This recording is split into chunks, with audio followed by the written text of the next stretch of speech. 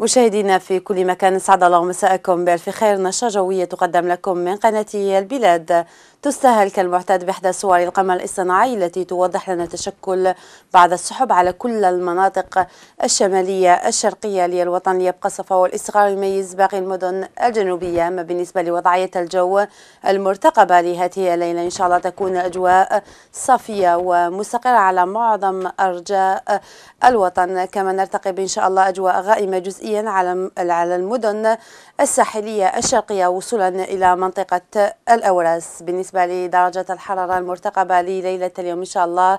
ستصل إلى حوالي 16 درجة بجزء العاصمة 15 درجة بوهران 17 درجة بعنبة 10 درجات بباتنا الجرفة 7 درجات بالبيض 17 درجة ببشع 20 درجة بتندوف 16 درجة بكل من ورقلة غرداية 19 درجة بأدرا كما سجلنا 21 درجة بجانة وإليزي و14 درجة بمنطقة تامناست مباشرة إلى وضعية الجو لصبيحة يوم الغد إن شاء الله تكون الأجواء مشرقة ومشمسة أقول على كل المناطق الساحلية الوسطى الغربية للوطن جوا مغشى جزئيا.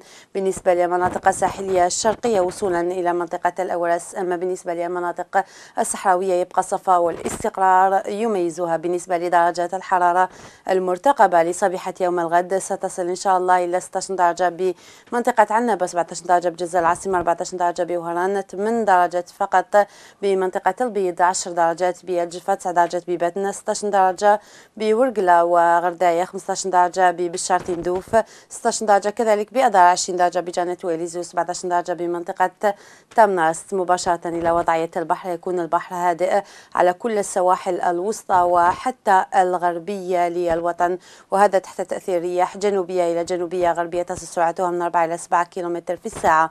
أما بالنسبة للسواحل الشرقية يكون البحر قليل اضطراب وهذا تحت تأثير رياح جنوبية غربية تصل سرعتها من 11 إلى 14 كيلومتر. في الساعة قبل ختام النشرة الجوية. نذكر بالمعلومات الفلكية التي التي تخص جزائر العاصمة وضواحيها لشروق الشمس الذي سيكون إن شاء الله في حدود الساعة السابعة والنصف. أما الغروب إن شاء الله سيكون في حدود الساعة الخامسة وست وثلاثين دقيقة. كانت هذه ترقباتنا لأحوال الطقس. سهرة ممتعة في أمان الله.